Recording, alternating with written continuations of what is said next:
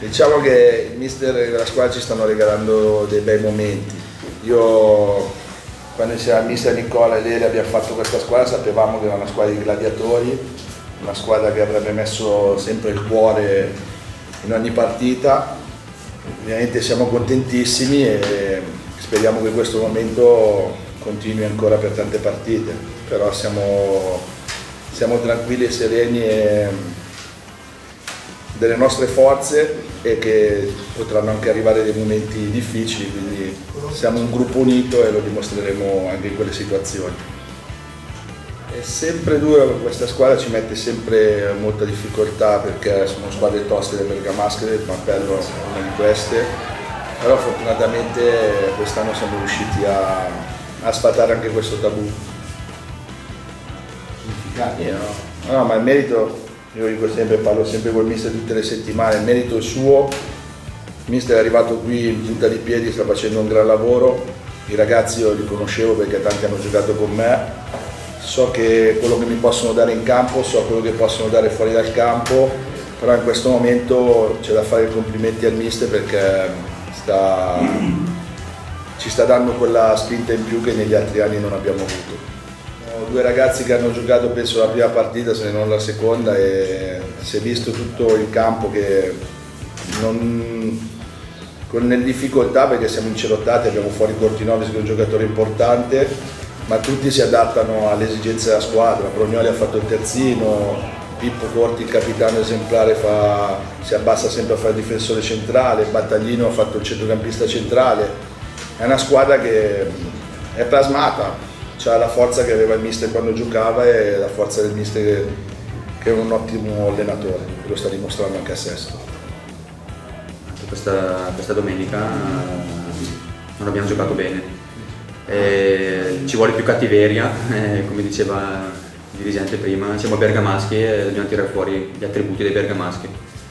E purtroppo in questa partita non sono venuti fuori. C'è da lavorare, lavoriamo sodo mettiamo giù il testone e andiamo avanti. Giusto? Eh, il risultato è giusto, sì, perché la Prosesto in 10 ci ha dato dei grattacapi e in alcuni momenti hanno giocato anche meglio di noi, che eravamo in 11. Ah, sì. Ho detto anche quando abbiamo perso che giochiamo sempre per vincere, per provarci almeno. Ho detto, ho detto dopo la sconfitta col Monza che ci saremmo preparati per essere competitivi e, e lo siamo stati, dunque abbiamo mantenuto la nostra promessa e devo dire che questa è una vittoria che è stata soffertissima, mi dà tanto gusto perché la squadra veramente ci ha messo molto cuore, sempre spinti molto da, anche da, dal contesto del, dello stadio che aiuta molto i ragazzi, ma abbiamo vinto con i ragazzi della Prosesto, mi verrebbe da dire. E questo mi ha fatto piacere perché i giocatori che giocano di meno poi alla fine si sono fatti trovare pronti e hanno fatto molto bene. Dunque è un bel passo in avanti anche sotto questo punto di vista. Sono, sono soddisfatto.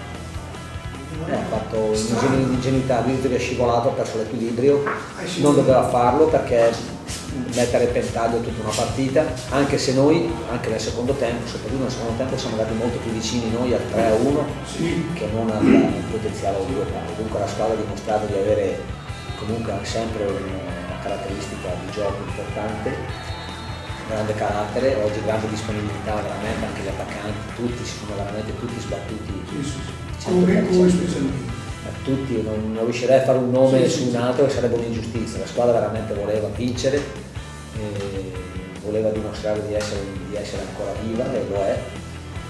Ma quando dico che abbiamo vinto con i ragazzi della Prosesto, eh, non, sto facendo, non, sto facendo i nomi, ma sto dicendo che abbiamo giocato con i ragazzi nel nostro vivaio, che vogliamo valorizzare, ne abbiamo altri, ha già giocato anche Fal, hanno giocato, stiamo piano piano tutti ruotando con grande successo, dunque questo è molto importante, che giochino ma che giochino bene, non che giochino tanto perché debbano giocare. Noi dobbiamo vincere le partite perché i meriti e i demeriti vanno sempre divisi con tutti. Vedo che tutta la società tutta sta lavorando bene, stiamo cercando quantomeno di dare tutto quello che serve ai giocatori e questo è molto importante.